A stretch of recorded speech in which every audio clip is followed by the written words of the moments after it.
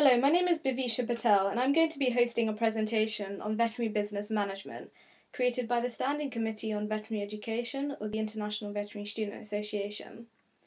This is the first of many Vet Student Talk videos on alternative veterinary subjects that have been historically poorly taught in veterinary schools.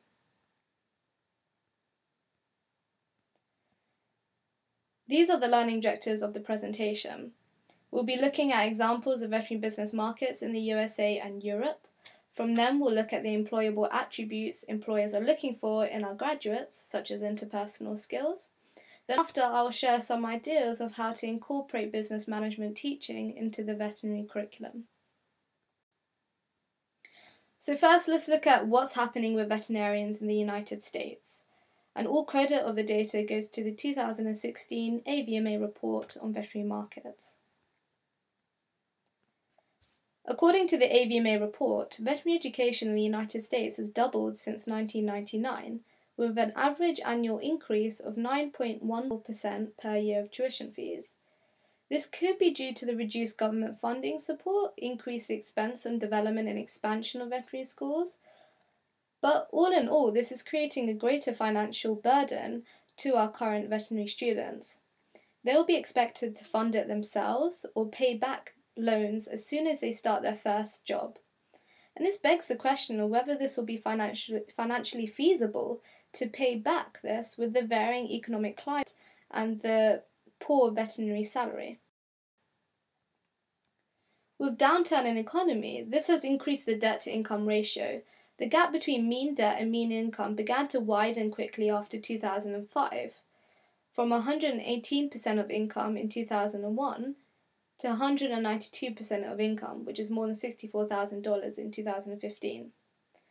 With a recession forecasted, increased competition for jobs due to increased number of graduates and potentially reduced or static demand of veterinary services represents a major problem for the profession and the livelihood of veterinarians. There is currently an imbalance in the supply to demand ratio. As you can see on the graph, in the past 10 years, the relative prices for veterinary services rose, expenditures for veterinary services per pet declined, and the number of pets not visiting the veterinarian increased. Services veterinarians charge are becoming more dearer because technology, drugs, and intermediate products advancing. Sometimes these direct costs are actually out of the control of the veterinarian because of the increased prices pharmaceuticals and technology suppliers charge. So, because service prices are increasing, pet owners are becoming more reluctant to pay the current prices for their pet healthcare, especially if they can't afford their own healthcare. So, this is a big issue and one where the government, human medicine, and veterinary medicine sectors need to collaborate to change this mentality by promoting recommended insurances, offering subsidies, or compensation schemes. The Congressional Budget Office, which is an office that measures the economic impact of federal legislation, expects growth to improve in 2016 to 3.1% and then slow to 2% through the end of the 10 year forecast period. So, with the decreased GDP, veterinarians should expect a decreased demand for veterinary services, as quite simply, owners have less money. The full recovery of actual GDP to long term potential GDP is still, unfortunately, several years away. So the question is, are we prepared for this? And unfortunately, the answer is no. Because we don't ha- we currently don't have the business lingo to analyze business market statistics or principles to then make the necessary changes to our business behavior so we are prepared for the upcoming economic situation and varying demand intensity. The main message is that veterinarians in private sectors need a strong understanding of how to use economic theory to develop strategies for successful businesses. All the information presented so far has come from the AVMA report on veterinary markets. If you would like to know more about the current situation in the USA, then I recommend you um, look up this reference to gain more insight into the USA veterinary markets. So, what about Europe? All the information on Europe is derived from the Federation of Veterinarians in Europe study. From this study, it gives an overview to see where the main focus of professions lie in Europe at the moment. 70% of veterinarians work full time, with the majority working in private practice, and 19% working in public sectors such as veterinary public health work. Astonishingly, of the 78% who work full time, 21% have a second job, indicating that the, that the job and the earning situation may not be satisfactory, even with all the effort veterinarians make to get where they are. This shows the, the proportion the, the graphs uh, sorry the pie charts show the proportions of veterinarians working in different sectors of veterinary medicine. This distribution signifies the predominance of vets working in clinical practice, but shows 40% of vets are working in non clinical fields such as pharmaceuticals, research, and education. And why so? Well, maybe it's because the highest earning veterinary trained professionals are those working in industry, working in non clinical fields such as government work. Or the third one is owners of large clinics where you have three or more employees. Now, veterinary owners are declining with the shift to big corporations taking over small practices. So the vet is no longer in charge of the economic matters, which actually could be a very threatening situation to the salary of the clinical profession for the future. As mentioned before, 21% have two different jobs, and 17% of veterinarians work part time. This may be related to the inequality, inequality in gender salary, with 28% of females earning less than male colleagues, colleagues. And this could be due to maternity leave, part time work, and the lack of consistency in the working schedule compared to males due to family commitments. And it would be very interesting to see if these imbalances are replicated in human medicine world and to find out why and if we can support it or change it. So, the future of Europe. 80% of vets said they need more business training, and 49% say there, would be, there should be more legislation for employees' rights for the profession in terms of salary, work hours, and retirement plan. As the clinical industry is being taken over by corporates, this has led to a shift in what vets are required to achieve. For instance, being for monthly financial targets, having financial pressures to meet certain quotas, and management practices changing, so vets have less of an authoritative role.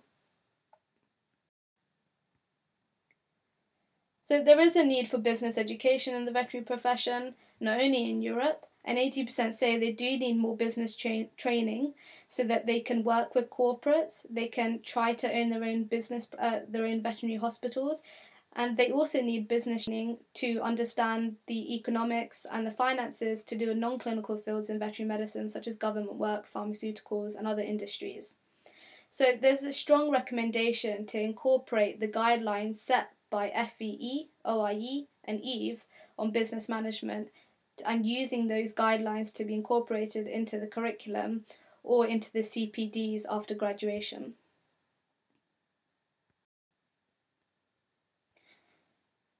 So, what skills are we looking for in our graduates? What employable skills are employers looking for? And the biggest one is communication, and that includes speaking and writing. And this is particularly important for non clinical fields in veterinary medicine, such as government work and uh, pharmaceutical industries, where it's very important to communicate effectively for sales, for marketing, for advertising, and to uh, to uh, develop uh, connections and collaborations of other industries. Business is also highly, impl- highly important and that includes administration, personal management, sales and marketing, finances, computing, and leadership. So, all these skills are especially important for non clinical roles, as I've mentioned, because now, and it may be increasing, 40% of our pres- uh, profession is going into these non clinical fields. So, it's very important to emphasize non technical skills in our curriculum. So, how can a vet be visited more often? And that involves three things. One is predictability of prices and the availability of competitive prices in particular. Two is offering services that brings convenience to the owners, such as pet drop off pet drop off schemes or extending opening hours. But the most important and the last one actually is inter- interpersonal skills. The most important skill to have as a veterinarian is the ability to communicate and effectively share information and knowledge with clients, the public, and colleagues. Selection during job, job interviews is often based on personality and communication skills and a perceived empathy for the job. So there's a need to understand what makes veterinarians more prepared to deal with changes in the economic climate and ensure their businesses are resilient enough to cope with the variability of clients' incomes as well. So the top three skills employers are looking for is interpersonal skills, second one is business skills, and the third one is the ability to problem solve. Specifics on business management would come with these skills, like recognizing how best to communicate with clients on charging payments, as well as understanding the sources of profit in developing pricing estimates for clinical services.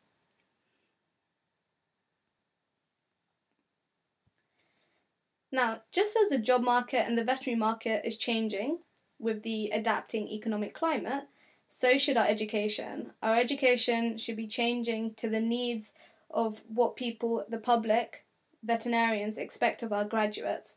So, our education should be based on developing employable skills as well as knowledge and practical skills of the profession. So, now I'm going to share with you some ideas of how to incorporate business teaching into the veterinary curriculum. So the themes can be divided into two main categories. One is professional development and two is business management. Professional development should be focused uh, on teaching students from day one, and business management should be taught to students from years two to three onwards when they start to develop more clinical knowledge. So professional development.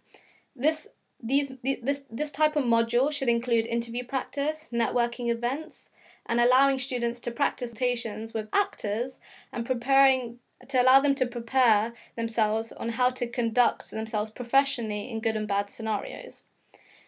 They should also be giving career advice from higher professionals on writing CVs, as well as encouraging them to undertake business management, continued professional development courses after graduation, or even better, uh, undertaking business management master classes. They should also be encouraged to undertake workplace learning, such as universities hosting projects or internships with corporates, pharmaceuticals, and government sectors, so students can gain insight into these non clinical fields. The business management mod- uh, module should include five main skills. One is management skills, second one is marketing knowledge, Third one is budgets and revenue. Fourth is quality control. And the fifth one is commercial awareness. So, management skills this includes leadership, communication, and time management skills. To train this to students, students, for instance, can be set into different groups and asked to create a new veterinary product and develop a sales pitch for it, kind of like what's uh, like Apprentice or Dragon's Den style type of projects. And this will help to encourage the student in developing their public speaking skills, leadership, delegation of roles, and develop their marketing and advertising skills. The second one is marketing knowledge, as I said, adver- adver- advertisement strategies. And a good way of doing this is getting groups of students to develop new technologies that fills the gaps in veterinary education and veterinary medicine, and then form mar- uh, marketing strategy plans for it. Um, a good example of this, if you want to look at this in more detail, is Elsevier, as a book publisher, hosts this annual hackathon competition to medical students where medical students would cooperate with, uh, for instance, computer science students to develop technologies that will fill the gaps in human medicine. Likewise, we could do the same for veterinary medicine as well. Budgets and revenues is very important. So, to allow students to understand the lingo of business management, students can undertake a project to financially reason and come up with a strategic plan on how to increase um, a fictional hospital's profits by let's 25% in one year. The fourth one is quality control. So, students should really understand how to act professionally in different scenarios. So, for instance, uh, universities can conduct their own seminars on analysing case scenarios of how vets should conduct themselves professionally according to the national and international standards like AVMA or RCVS codes. Fifth one is commercial awareness, so having an appreciation of who your target audience is and customer and adapting your brand and adapting your services to their needs. So, for instance, students can, groups of students can be asked to research what the target audience is for certain products and then critique the marketing strategy used by these large corporates. So, they gain an understanding and commercial awareness of marketing and trying to meet the needs of your customers. As a part of the Standing Committee of Veterinary Education, we strongly emphasise uh, blended learning where part of the curriculum should be taught on site as well as off site teaching, and off site teaching is based on e learning resources. So, if you would like to know more about business management and would like to research more about employable skills and how to develop knowledge in business management, then I recommend you look at these web resources. Um, and the list of these web resources can also be accessed in the description part below this video. So thank you very much for listening into this presentation and stay tuned for upcoming Vets Talks videos. Thank you.